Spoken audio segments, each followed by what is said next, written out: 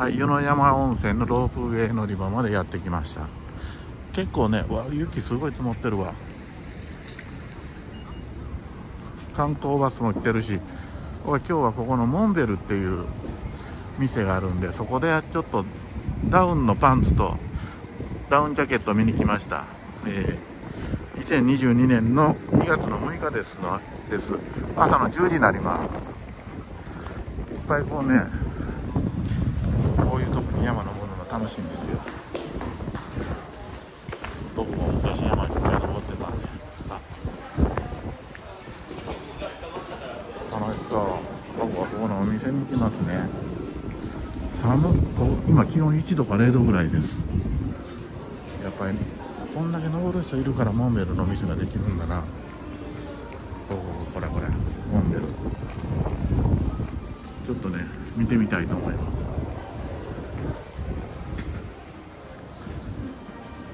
ここがロープウェイ乗り場ですね。湯の山温泉。湯の山温泉駅ですね。すごいな。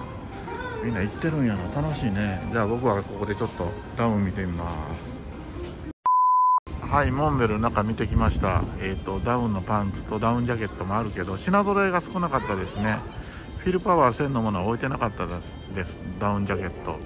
パンツもね種類がちょっと少なダウンのパンツ種類が少なかったんではい。この店が小さかったですね。はい。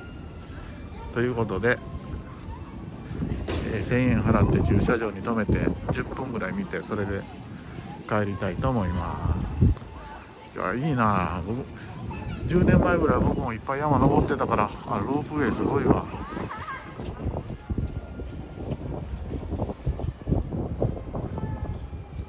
楽しそういいね。では帰ります。